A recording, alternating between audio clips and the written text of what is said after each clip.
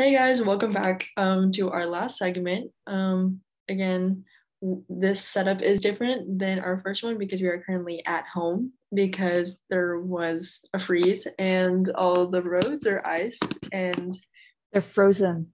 they're frozen. Let it go. You would only know if you listen to our last segment. Yep. So school is canceled for today, but thank goodness we have technology and Zoom, so we are able to record it here at home.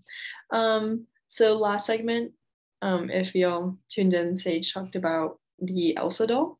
Um, and then obviously I'm going to be doing our last one. I'm going to be doing two. The last one's like a very like mini small one. Um, but um, the first one is the Mandy doll, which is supposed to be Canada's most evil antique. So, um, okay. So Mandy the doll has been terrorizing the. I'm probably going to butcher this. Quesnel and District Museum, where she's been on display since 1991. The antique doll was already 91 years old when she was given to the museum. Um, someone who, an anonymous donor. Um, the donor couldn't handle having Mandy in her house anymore. And if you're wondering why, it's because Mandy had begun to do very strange things.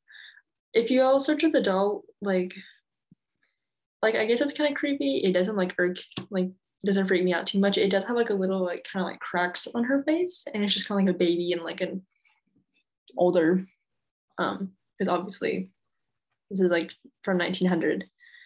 So um, this is what the anonymous donor had said.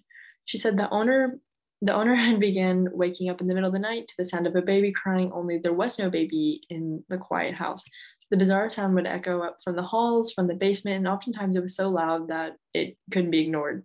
Um, once the owner worked up the courage to investigate, she would only find an open window, and the strange sounds were enough to scare her for good. And Mandy was given to the museum because it was the only other thing in the house that would probably make noise since there were no babies.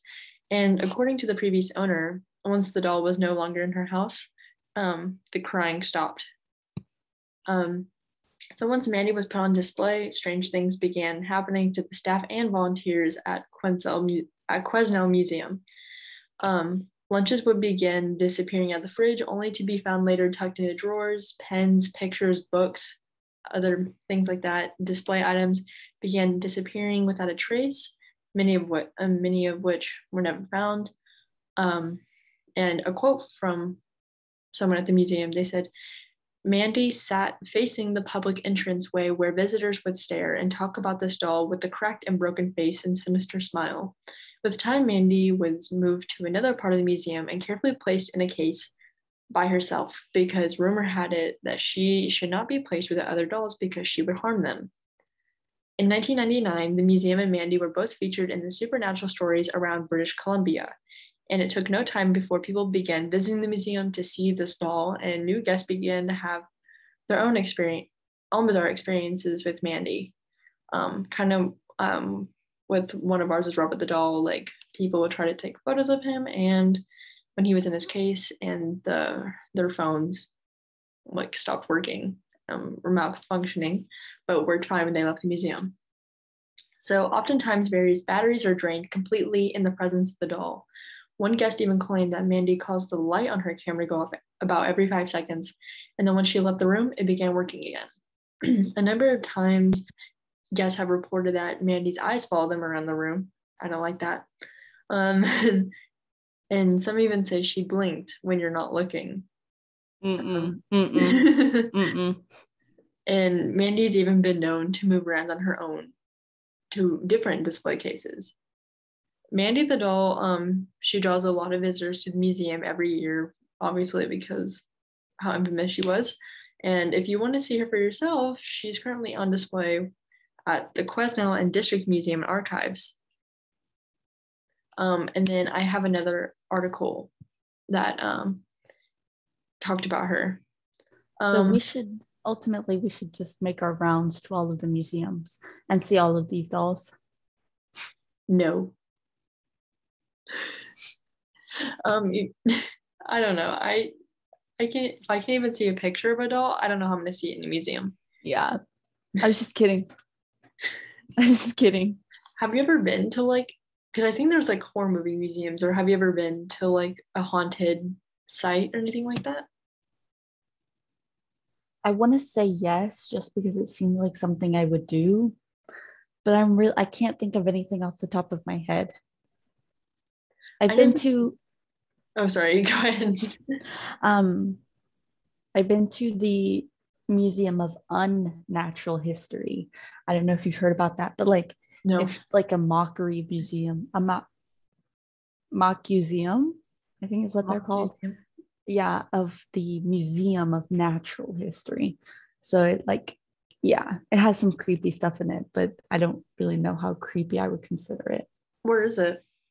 it's in dc Oh, so it's still up in the like smithsonian area Mhm. it's just like a museum that's supposed to mock the museum of natural history Interesting.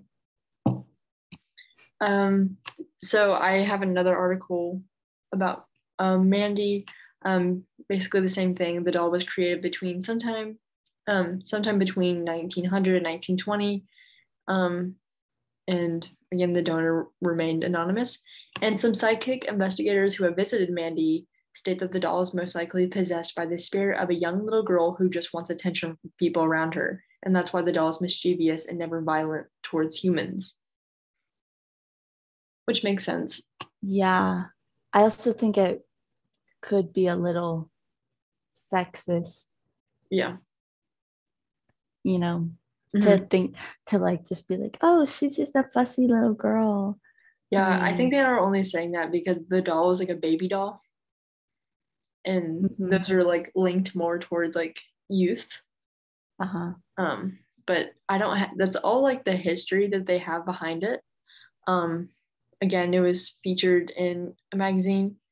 Um, but that's all they know. But um again, yeah, that's only what psychics say. So we don't know like how true that is. Psychics Uh-huh. sometimes are not really reliable. We've seen that in some of our cases um that we've talked about. But I do have another story.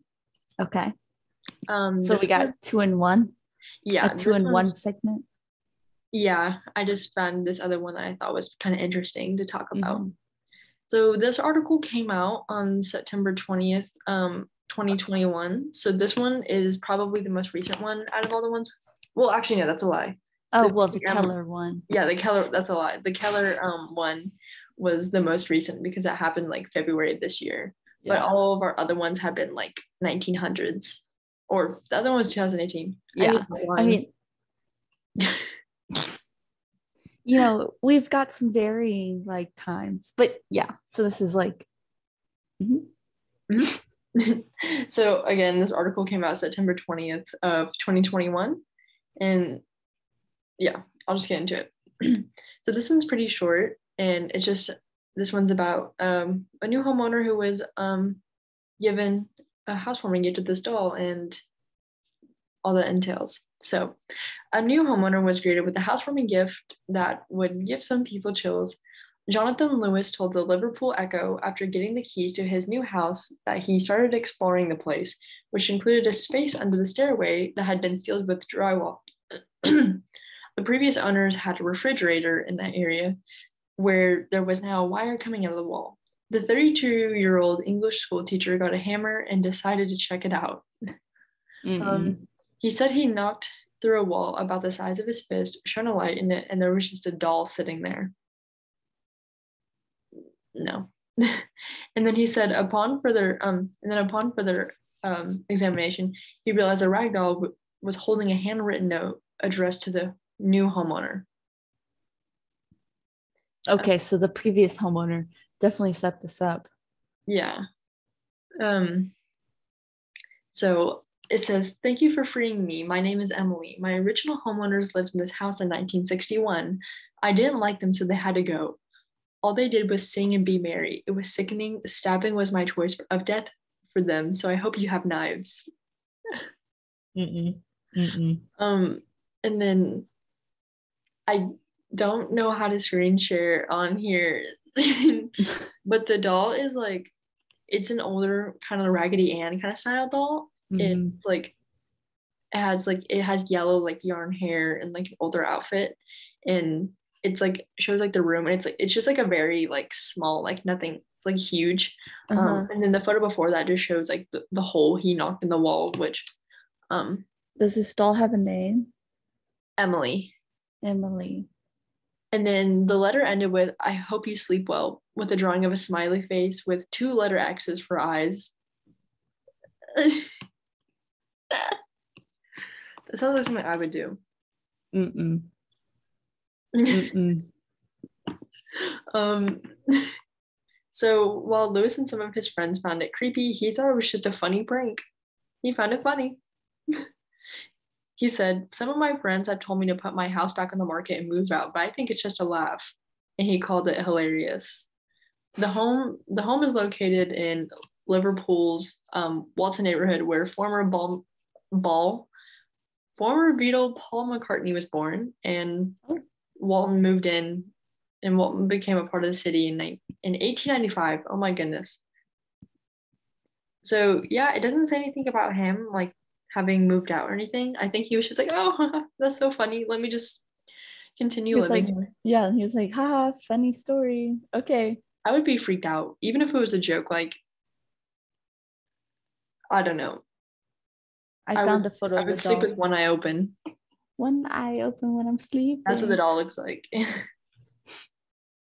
like the doll's not creepy, but if I were to just knock down a wall and I saw that, uh, yeah, I would, I would jump a little bit. I would. Oh, and she's holding the note in this photo too. Yeah. And it ending with, "I hope you sleep well." I hope you have hearts. I'm not hearts. I hope you have knives. XX. LOL.